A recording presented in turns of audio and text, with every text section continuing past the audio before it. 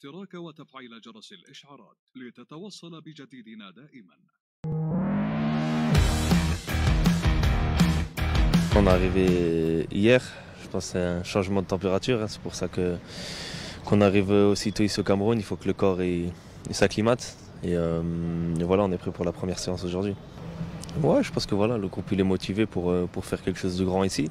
Je pense qu'on a tous le même objectif hein, et, euh, et voilà, on va tout donner pour, euh, pour rendre fier le peuple marocain.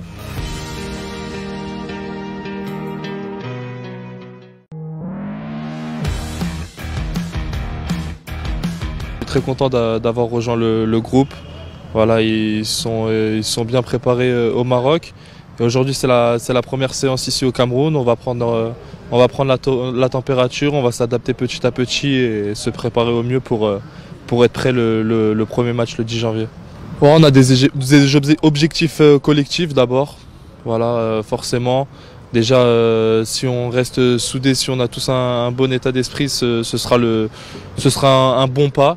Maintenant, les objectifs, je vais, je vais pas les dire, mais c'est vrai que dans un coin de nos têtes, on, est tous, on a tous des objectifs euh, élevés forcément.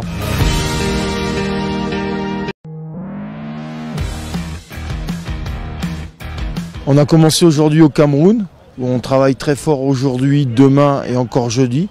On a trois pics de travail.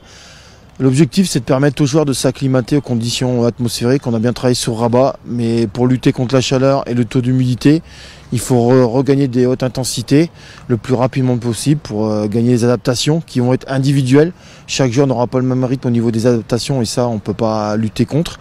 Mais le but du jeu, c'est d'avoir un maximum de joueurs frais pour le premier match et continuer ainsi pour la compétition.